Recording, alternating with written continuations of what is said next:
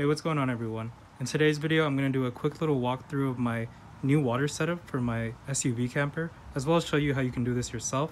And I'll also be comparing it to my previous setup so you can see why I prefer this much more. Before we continue, I just want to shout out SUV RVing and the camping element. Watching their videos gave me a basic idea of what I wanted with my build. Uh, they both have great channels and you should definitely check them out. Okay, so first I'll show you how it works. At the top of the faucet, there are two buttons. The one on the left is just a power button, which will just dispense water. And the one on the right is actually a 600 milliliter button, which will dispense that amount once you press it. Uh, for this demonstration, I'll just press the power button, just so you can see what it looks like when it dispenses water.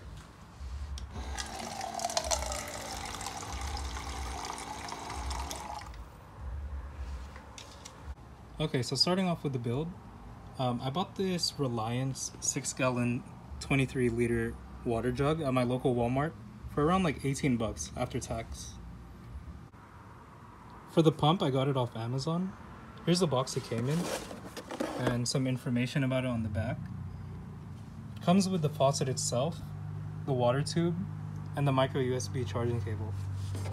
Here are the buttons that I was talking about earlier. It's the power button and that 600 milliliter button. So this jug came with a twist cap a cover for the cap, and a spout.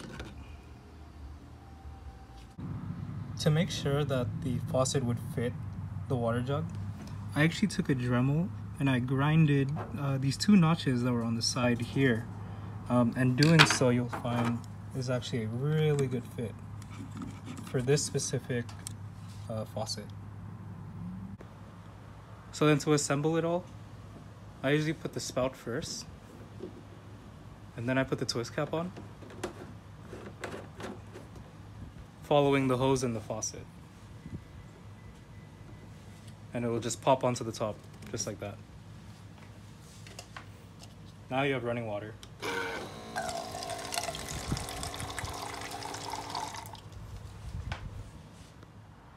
So when the faucet sits on the cap, it's it's pretty sturdy and um, you know, it's it's not gonna go anywhere while you're getting water. But if you wanted to also fasten it down, uh, maybe because you're putting it in a car, or you know you just don't want it to move, uh, what you can do is you can use a small bungee cord, just like this, with two hooks. And the way that I fasten it down is, I'll start at the top of the faucet, and then connect these two hooks um, past the handle, just like this. And that does a really good job in holding the faucet down and you know as you can see I'm shaking it. This thing is not gonna go anywhere. So when I'm done using the water I'll unhook the bungee just like that. I'll take the hose off in the faucet and I'll put it into its own Ziploc bag so that it can stay clean. Um, and then using the cover that was provided with the jug I'll take off the cap put the cover on and then screw it all together. And this will do a good job in making sure that your water doesn't spill or leak or um, that any dirt or dust gets into your water. Now that you've seen my new setup, I want to show you what I was using before. And it's actually this Reliance Aquatainer water jug that can hold up to 26 liters or 7 gallons of water. And you know, this thing is awesome. Uh, 7 gallons of water, that's that'll last anyone a while. Um, there's just a few things about this container that I didn't like as much. One being the size. Um, you could see it's this like pretty big square shape. Um, and just in my car, it took up a lot of space. Another thing I didn't like is the, uh, when you store it, there's actually a hole in the cap there where the spout is. And I would find that dust and dirt would get in there pretty frequently and I would have to clean it out. So that was pretty annoying.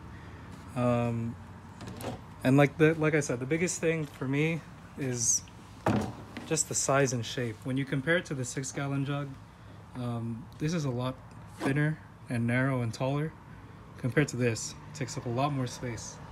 There is a trade-off, you know, of me picking this. Um, I do lose a gallon of capacity, but I think the trade-off is worth it considering that this can pretty much stay upright the entire time.